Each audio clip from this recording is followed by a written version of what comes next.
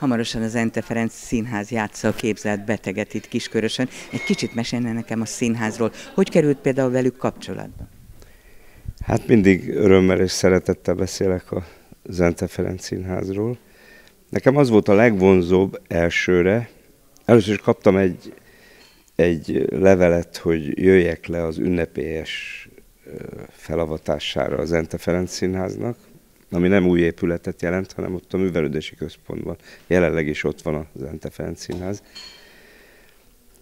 Egy olyan színész barátomtól, akivel ma este is együtt játszom, meg azóta már többször a Máté Krisztiántól. De akkor nem értem rá lemenni, viszont nagyon örültem, hogy ennek a csodálatos és óriási nagy színésznek, akinek a nagyságánál talán a szerénysége volt vonzó, Zente Ferencnek, egy olyan, egy, egy, egy olyan színház, aminek a közelébe született, a nevét adhatta. Tehát nekem már ez nagyon szimpatikus volt. Arról nem is beszélve, hogy többször forgathattam vele filmekben, és mondom, az a fajta szerénység és édes figyelem, meg szív, ami benne volt, a zseniális színészetén kívül, de hát ott is az egyszerűség, az egyszerű embereket képviselte. Ez, ez nekem az Ente Ferenc színházat már eleve nagyon magasra tette, hát aztán ugye ebben az is benne van, hogy a Csocsó című filmemben ő volt a nagypapa, aki visszavágyódik Tokajba, az új szocialista városba, és, és olyan gyönyörűséggel játszott, és mindig boldogan jött velem közönség találkozókra. Amikor a film vetítése után sokszor tovább maradtunk, mint, mint maga a film hossza volt. És mindig ő kérdezte, hogy, hogy mikor lesz megint, annyira szeretett, pedig az nagy utazásokkal és fáradtsággal járt, és akkor már 80 fölött volt. Tehát én így kerültem, de ja, nem így kerültem, így került a szívemhez közel a Zente Ferenc Színház. A képzett beteg főszerepét hogyan kapta meg? Erről hogyan értesült, hogy ez az ön élet? Megkerestek a színház vezetői, Susán Ferenc és a Simon Lajos, és Budapesten találkoztunk, de ez nem az első darab volt, azt a többiek jobban tudják, akik már rögtön játszottak itt. Nem, ez egy három és fél, négy éve történt. Nagyon, hát nagyon jól esett, hogy megkerestek, bár életemnek egy nehéz időszaka volt, mert, mert egy rosszul sikerült sérvműtét ismétlése előtt álltam pont. Tehát, hogy elég nehéz volt a próbaidőszak. De most már csak az öröm van belőle, mert már 30-40. előadás körül, körül tartunk és minden előadás izgalmas, szép és remek. Azt lehet mondani, hogy ez egy jutalomjáték önnek?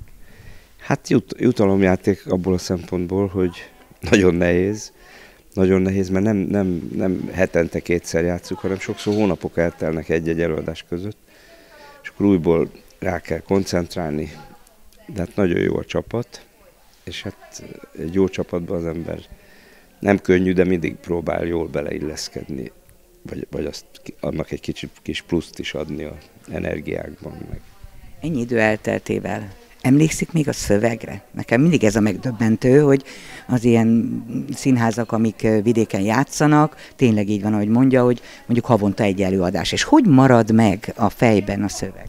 Ez tévedés, nem, nem csak vidéken, Pesten is vannak darabok, amik egyszer mennek egy hónapba, a bemutató körül négyszer, ötször, és akkor az úgy rögződik nagyjából, és mindig vannak felújító próbák, az új évad kezdetek. Hát például most egy április, ez nem áprilisi tréf, április 1 lesz a 400. Balfácánt vacsorára, József Attila színházban, amit a Kernandissal játszunk. A, a speciál azt már szinte, szinte nem kellene átnézni se, az már annyira a zsigerekben van az a 400-szor játszott darab. Ugyanakkor pont azért, mert ott volt mód igazából közben fejleszteni, rögtönözni, amitől még jobb, még jobb, még érdekesebb lett az előadás. Ezért most már, hogyha belenézzünk az eredeti szövegkönyvbe, akkor csak megzavarodunk. Annyira nem hasonlít, amit játszunk, de mi tudjuk. Tehát, mint egy jó zenekar, ez nem azt jelenti, hogy össze-vissza rögtönzünk, hanem vannak olyan erős dolgok, amik, az évek során kerültek bele, meg fordulatok. De mi már úgy érezzük. Tehát nem lehet ilyet mondani, hogy vidék vagy Budapest. Mert vidéken is van, amikor négyszer-ötször megy, illetve vidéken főleg úgy van, ez nagyon jó szokása az Ente Színházban, hogy, hogy itt tényleg évekig még itt-ott, Kiskörösön, Szlovákiában, mindenfelé játszuk a, a darabokat. De mégis, amikor eltelik egy hónap, akkor hát akkor át kell venni, össze kell mondani. És, hát és nem, itt az előadás előtt teszik ezt, vagy, vagy mielőtt még elindulnak? Nem, nem, mondom, ezek, ezek mindenkinek a magánügyei, már olyan szempontból, hogy vannak, akik otthon szeretik átnézni. Én például engem zavar. Én legjobban azt szeretem, ha van szöveg összemondó próba, hogyha egymástól halljuk. Nem, miután nemrég játszottuk, tehát én nemrégnek nevezem a tíz napja, két hete, úgyhogy reménykedem, hogy ma, ma nagyon-nagyon rendben lesz minden. Meg nagyon sok függ a közönségtől, olyan szempontból, hogy, hogy nekem sokszor a legjobb partnerem a közönség. Tehát olyan szempontból, hogy, hogy elhangzik egy pillanat, egy, egy, egy poén, egy nagyobb csönd, valami fordulat, valami dráma, és azt, azt, azt megérzi az ember akkor is, hogyha nem hangosan nevetgélnek, vagy nem sírnak rögtön, hogyha egy olyan szerepről van szó. Most csak általánosságban beszélek. Ugye Molière idejében képzett betegnek hívták az ilyen embereket, ma hipohondriának hívják. Mennyire rímel a Molière kora a mai korra. Ebben biztos, Én hogy rímel. Molière nem tudott magyarul, tehát biztos nem nevezte képzett betegnek ezt az előadást. A, hipo, a hipo, igen, ez, ez az óriás hipohondriáról, az, a vakhitről szól.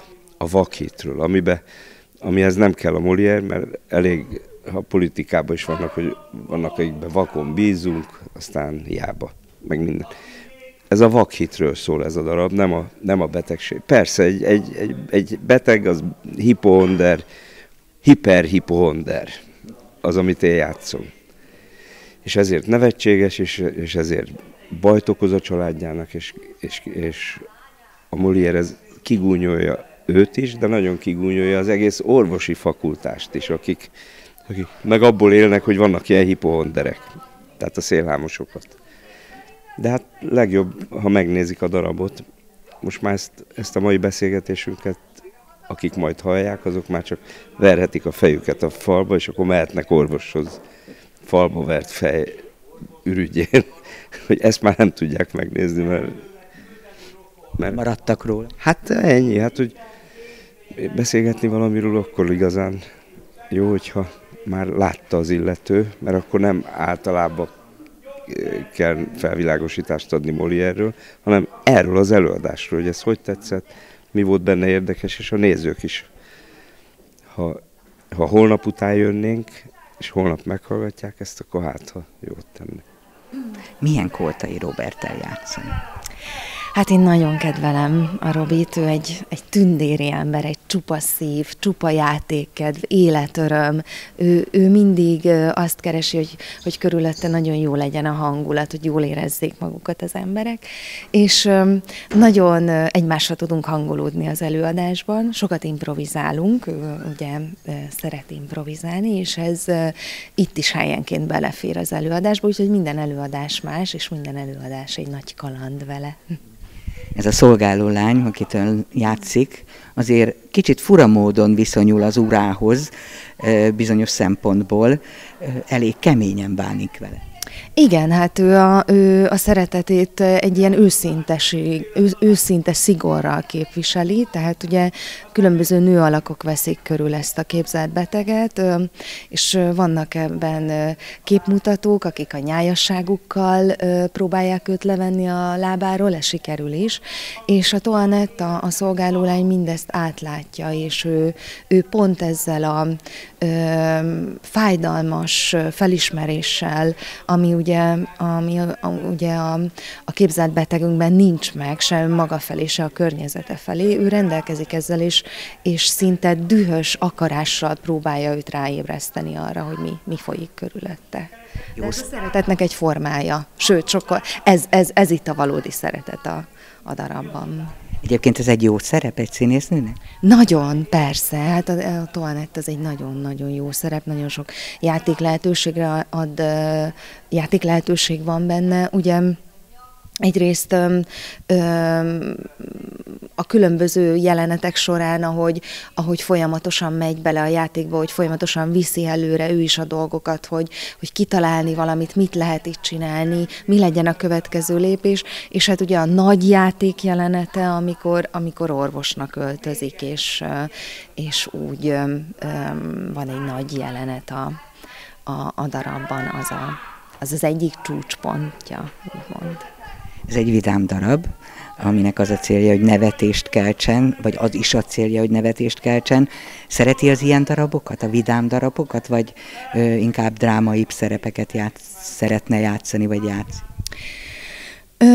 Nagyon szeretem, nem az határozza meg igazából, hogy vidám vagy, vagy drámai a szerep, sőt, a leginkább azt szeretem, ha ez a kettő ötvöződik egy darabban, tehát amikor úgy lehet nevettetni, hogy, hogy közben azért fáj, belefájdul az ember szíve, mert, mert komoly mondani valót is sokszor könnyebb úgy átadni a nézőknek, hogy van benne humor is, vagy humorban van egy része csomagolva, de, de egy jó vígjátéknál mindig az a jó vígjáték, aminek igazsága van, ami valami mélyebb dologról szól, és amikor önmagunkon nevetünk tulajdonképpen, az a, az, az igazi. Hát akkor ez a legjobb darab erre, hiszen itt Molière-nek is az volt a célja, hogy az emberek önmagukon, önmaguk lássák be a hibáikat, vagy önmagukon nevessen. Így van, igen, igen, hát Molière nagy mestere volt ennek, ugye a vígjátékaival, mindig nagyon-nagyon komoly mondani valóval bírnak ezek a vígjátékok. Egyébként milyen szerepeket játszik még mostanában? Hú, nagyon sok előadásban játszom. Egyrészt én szabadúszó színésznő vagyok, a Zente Ferenc Színházban is több darabban benne vagyok. Régebbi darabok a Tündérlaki lányok, az Augusztus Oklahomában, a Függönyfel, de mondhatom a, a legújabb bemutatónkat itt a, a Zente Ferenc Színházban, a Molnár Ferenc Ördög, ami szintén egy csodálatos női szerep, a Jolán szerepe, és ezen kívül Budapesten játszom több színházban, a Szkéné színházban, Pince színházban és a Karinti színházban több darabban. Ott is most volt nemrégiben egy bemutatóm, Káosz című darabnak a bemutatója, ami nagyon izgalmas, mert három nőről szól, egy mai modern darab, három nő életéről, és az is egy szerepjáték, mert egymásnak mesélnek három barátnő a saját ö, problémájukról is mindig megelevenedik a többi szereplő, amit ők játszanak el. Úgyhogy az is egy ö, hasonló nagy játék lehetőség. Egyébként járt már Kiskörösen? Ismeri a városunk? Nem, sajnos. Nem, de, de boldogan ö, eltöltenék itt néhány napot. Hát ilyenkor ezekben a vendégjátékokban az a szomorú, úgymond, hogy ugye megérkezünk, kiszállunk a buszból, beesünk az öltözőbe, sokszor nem is látjuk a színház elejét, csak a hátulját, mert bejövünk a művészbejárón, és előadás után visszaszállunk a buszba. Hát ez, ez, a, ez a mai színész élet, hogyha esetleg adódik olyan, hogy közeli városban játszunk másnap, vagy két előadást, akkor van lehetőség egy picit körülnézni, lazítani. Hát ma, ma, ma csak a színháztermet ismerjük meg Kiskörösből, de ha lesz lehetőségem, akkor mindenképpen visszajön, ide örömmel.